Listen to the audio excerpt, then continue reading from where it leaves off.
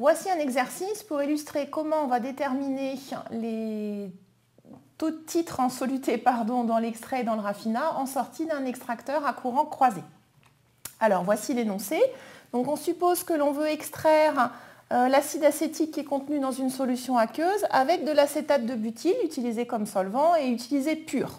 On va utiliser un extracteur à courant croisé qui va comporter trois étages et on va utiliser donc une solution qui titre à 20% en acide acétique avec un débit de 100 kHz et un débit de solvant pur de 150 kHz. Alors, je vous rappelle que lorsqu'on utilise un extracteur à courant croisé, donc ici avec trois étages, on va utiliser un certain nombre de notations. Donc on a l'alimentation en solution qui arrive ici avec un débit LA et un titre petit xa. Il va sortir du premier étage un raffinat avec un débit L1 et un titre X1. Ce raffinat va être injecté dans un deuxième étage d'extraction. Donc on va obtenir à la sortie un deuxième raffinat de débit L2 et de titre X2. Et puis à la sortie du troisième étage, on aura le raffinat final avec un débit L3 et un titre X3. Pour réaliser cette extraction, on utilise du solvant avec un débit total qui sera VA et que l'on va répartir entre les étages d'extraction. Ici, il n'y a pas d'indication sur la répartition de ce débit, donc on va supposer qu'il sera réparti équitablement. Donc euh, ici, on a VA sur 3, VA sur 3 ici aussi, et puis VA sur 3 également ici.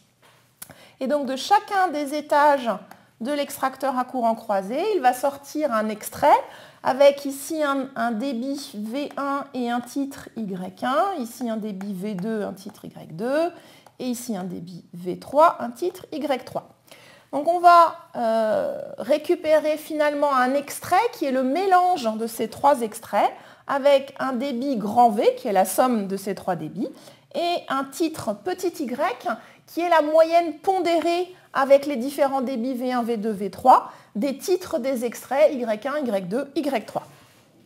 Alors voyons comment on va représenter ça sur le diagramme triangulaire. On commence par placer le point qui correspond à la solution d'alimentation. Donc comme cette solution contient uniquement de l'acide acétique et de l'eau, le point se trouve sur le côté du diagramme, donc bien sur le côté euh, ici. Et puis on va avoir le solvant qui se trouve être un solvant pur, donc qui est représenté au niveau du sommet. Euh, de l'autre côté. on va rejoindre ces deux points, on va tracer la droite dite d'alimentation. Sur cette droite d'alimentation, on va positionner le point fictif qui va avoir un titre x sigma 1 qui résulte du mélange des deux alimentations. Donc on a un XA, LA sur LA plus VA sur 3. Donc si on fait le calcul avec euh, les données de l'énoncé, on trouve que le X sigma 1, pardon, c'est 13,3%. Donc on va placer sur la droite d'alimentation que j'ai tracée en rouge ici, euh, le point sigma 1 qui correspond à un titre en soluté euh, donc de 13,3%. Donc on a notre point sigma 1 qui se trouve ici. On suppose que le premier étage de notre extracteur à courant croisé est un étage théorique, ce qui veut dire que ce point sigma 1 se trouve sur une conodale qui va passer par ce point. Donc on va interpoler avec les différentes conodales dont on dispose pour tracer une conodale qui passe par ce point sigma 1. Et à l'intersection avec la courbe binodale, on va récupérer la valeur des titres, donc x1 ici du côté des raffinats et Y1 ici du côté des extraits. Donc on va pouvoir euh, lire la valeur. Donc ici on a un X1 qui est à 16% et un Y1 qui est à 8% euh, donc du côté des extraits. Alors, une fois qu'on a euh, donc récupéré ce qui sort du premier étage, eh bien, on va tracer une nouvelle droite d'alimentation, la droite d'alimentation du deuxième étage. Donc cette fois-ci, on va partir du point que l'on vient de déterminer X1 donc ici du côté des raffinats, et on va à nouveau rejoindre le solvant pur qui se trouve ici. On a une nouvelle droite d'alimentation sur laquelle il va falloir positionner le point sigma 2. X sigma 2, eh bien, on le récupère à partir de ce qui rentre à l'intérieur de cet étage. Donc on a un X1 L1 sur L1 plus VA sur 3. Le problème, c'est qu'on a besoin de la valeur de ce L1. Alors, pour récupérer la valeur de L1, on va écrire un bilan global sur l'étage numéro 1. Donc on a LA plus VA sur 3, donc les flux qui entrent dans cet étage qui est égal à L1 plus V1, bilan global. Et puis ensuite on va écrire toujours sur l'étage numéro 1 le bilan en soluté. Donc on va avoir un XALA plus 0 puisque le solvant est pur est égal à X1L1 plus Y1V1. Donc en réarrangeant ces équations, on va pouvoir expliciter L1 qui est égal à XALA moins Y1 facteur de LA plus VA sur 3 et le tout divisé par X1 moins Y1. Ce qui donne un débit L1 qui est exactement égal à 100 kHz, c'est-à-dire exactement le débit de la solution. Donc finalement, il n'y a pas de variation euh, dans ce premier étage de débit, que ce soit du côté raffinat ici, et évidemment du coup, à partir du bilan global, on peut récupérer aussi la valeur de V1, et on voit que ben, forcément, il n'y a pas non plus de changement de ce côté-là, donc on est à 50 kHz. Donc du coup, on va pouvoir euh, revenir sur ce diagramme et positionner le point sigma 2, euh, donc ici, avec la valeur de sigma 2 qu'on a pu calculer. Euh, j'ai oublié de vous la mentionner, c'était euh, donc ici pour x sigma 2, 10,7%. Donc on va positionner ici. Donc on sait qu'ensuite, à la sortie de l'étage numéro 2, on considère toujours que cet étage numéro 2 est un étage théorique. On va chercher une conodale qui passe par le point sigma 2 qu'on va interpoler entre les conodales existantes. Alors ici, on est juste en dessous d'une conodale dont on disposait. Et on va en déduire la valeur de x2 ici à l'intersection avec la courbe binodale du côté des raffinats et de y2 à l'intersection côté extrait. Donc on récupère un x2 qui est à 13% et un y2 qui est à 6%. Donc on va continuer cette mécanique. On va euh, recalculer la valeur euh, du débit L2 avec une équation qui est très similaire à celle-ci, en reprenant bien ce qui rentre et ce qui sort dans l'étage. Et à partir de cette valeur de L2, on va pouvoir calculer le x sigma 3, et donc positionner euh, sur la troisième droite d'alimentation le x sigma, donc cette fois-ci c'est le x sigma 3, cette troisième croix, qui va permettre de euh, déterminer, en ayant cherché la conodale qui passe par ce point, la valeur de donc, x3 ici et y3 ici. Donc on a un x3 qui est à peu près à 11%, 10,5-11%.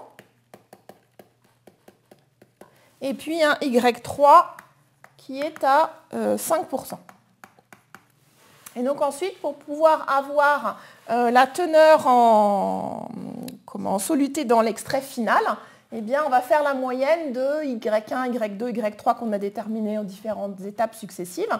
Et étant donné qu'on a le débit qui reste constant, qui était écrit réparti au départ et qui reste constant, eh bien, le Y, c'est tout simplement la moyenne de Y1, Y2, Y3. Et ça fait donc 6,3% avec un débit euh, d'extrait final qui est aussi à 150 kHz puisqu'on avait conservé les débits à chaque étage. Voici donc la construction sur le diagramme triangulaire. On va voir maintenant comment on représente les choses sur le diagramme rectangulaire. Alors, cette fois-ci, on va placer à nouveau le point qui correspond à la solution d'alimentation, donc ici sera 20%, euh, donc ici sur l'axe horizontal. Et ensuite, on va tracer euh, la droite opératoire qui va avoir une pente qui est moins 3 euh, fois L sur V. Alors 3 parce qu'il y a 3 étages, donc LA et VA, je devrais écrire ici. Donc cette pente, moins 3 LA sur VA, on va la calculer avec les valeurs de débit, on va pouvoir tracer euh, cette droite. On a une intersection ici avec la courbe d'équilibre qui va nous permettre d'obtenir la valeur du titre X1 du raffinat qui sort du premier étage et la valeur du titre Y1 de l'extrait qui sort du premier étage également. Donc on va pouvoir lire ici directement, on trouve 16%, c'est-à-dire exactement ce qu'on avait obtenu quand on a fait le tracé sur le diagramme triangulaire. Et puis ici, 8% ben, qui est aussi précisément ce que l'on avait obtenu sur le tracé, sur le diagramme triangulaire. Alors, pour les tâches suivantes, euh, ici c'est relativement simple puisque euh, on a vu que les débits ne changeaient pas. Donc en fait, on va avoir la même pente ici et là, et à tous les étages, on va avoir la même pente euh, pour pouvoir récupérer l'intersection avec la courbe d'équilibre et en déduire à nouveau la valeur de x2, donc qui est à peu près à 13%, c'est aussi ce qu'on avait eu sur le diagramme triangulaire, et puis la valeur de y2, alors un petit peu plus que 6%, en fait, euh, vous, remarquez ici qu'on a des tracés où on va pouvoir avoir des valeurs un tout petit peu plus précises euh, sur ce diagramme-là par rapport au diagramme triangulaire où il faut lire euh, des valeurs sur le diagramme qui sont parfois un petit peu difficiles. Et puis il y a la question de l'interpolation des conodales qui peut aussi amener à des petites erreurs de tracé et donc de valeurs que l'on obtient. Alors ensuite, le troisième étage, ben, à nouveau la même pente, du fait qu'on sait que les, débits ne changent pas. Euh, et donc à nouveau l'intersection, et on va pouvoir récupérer la valeur de x3 et la valeur de y3. Donc on obtient euh, des valeurs qui sont assez proches hein, de ce qu'on avait lu sur le diagramme triangulaire, mais un tout petit peu plus précises. Euh, donc du coup, on va pouvoir avoir une valeur de, de, y et une valeur, grand V toujours à 150 et puis donc le Y avec une valeur qui est toujours autour de 6%, hein, mais euh, légèrement plus précise avec ce, avec ce tracé. Donc vous avez vu que sur notre extracteur à courant croisé, eh bien, on dispose de deux manières de pouvoir obtenir les euh, titres dans l'extrait et dans le raffinat final. Donc soit à partir d'une construction sur le diagramme triangulaire, euh, qui a certaines difficultés de tracé dû à des imprécisions, notamment pour avoir l'interpolation avec les conodales et puis parfois aussi un petit peu d'imprécision de lecture sur les pourcentages des différents titres. Et puis aussi, on peut faire le tracé sur le diagramme rectangulaire. Alors ici, c'était un tracé simplifié du fait que les débits étant conservés, on avait des pentes de droite euh, d'alimentation qui étaient toutes les mêmes. Mais dans le cas général, il faudrait recalculer pour chaque étage la pente, donc bien recalculer les débits et de déduire la nouvelle pente pour chacun des étages sur notre extracteur à courant croisé.